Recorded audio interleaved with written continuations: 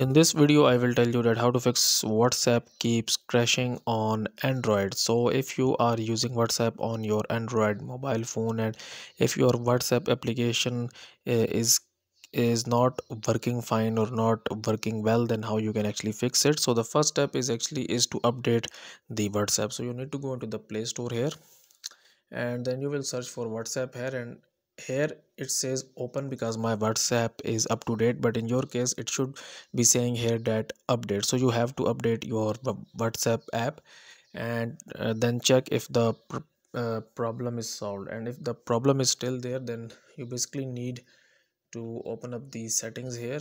Then go to apps and notifications. Go to see all apps and search for whatsapp. And you have to like clear its uh, storage and clear its cache memory okay and if the problem is still there you just need to actually uninstall the app and reinstall the app again. So guys if you find this video useful kindly like this video and subscribe to my channel and i will see you in the next video